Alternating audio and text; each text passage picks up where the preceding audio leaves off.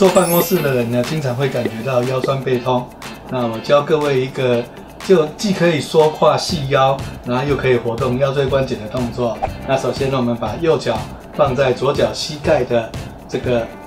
这个位置上，啊，靠近它的外侧，脚掌整个贴着，然后往左边尽量的扭过去。那我们上半身是不动的，上半身两手抱头放在底下做一个做一个支撑。那这个扭转完停七到十秒钟，然后放回来，然后脚放下来，换左脚啊，一样是踩在脚掌呢，这脚跟的这个位置是踩踩在右脚的膝关节这里啊，然后往啊往它的右边这样旋转过来。这个旋转的位置呢，差不多是在身体躯干的中段这边的脊椎做伸展。啊，像很多人呢，经常容易肠子胀气呀，啊，这样扭一下，肚子的胀气就会消除掉了。好，再放下来。那如果说你是属于啊，你的骨盆这个位置呢，会觉得比较僵硬啊，或者说比较容易便秘的人，我们的脚就尽量抬高一点，在大腿，把大腿的中间再上一点。这个当然也看你的柔软度啊，啊，尽量的转过去。这时候扭转的位置呢，就会偏腰椎底下了。啊，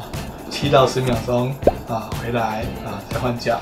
啊，就是尽量的脚尽量的踩上来，然后脚掌一定要贴着啊，然后现在往右转，这样扭转呢，活动到的是比较下面的这几节腰椎的关节啊，这个对于那个便秘的人，还有有些人会有痛经的问题啊，是非常有效果的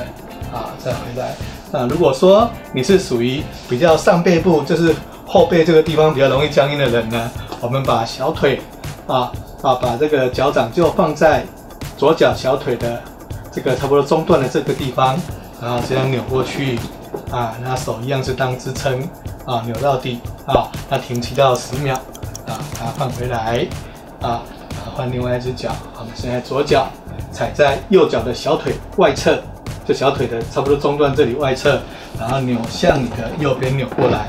哦，这个伸展到的是，他说肩胛骨下面这一段，这个只要是女生，几乎这一段呢，这里都是比较僵硬的，因为这刚好是胸罩的那个松紧带呀勒紧的这个位置，所以这个部位呢，只要是女生，几乎都会有僵硬不舒服，所以可以经常做这个动作，也可以帮助你消除疲劳，改善容易疲劳的体质。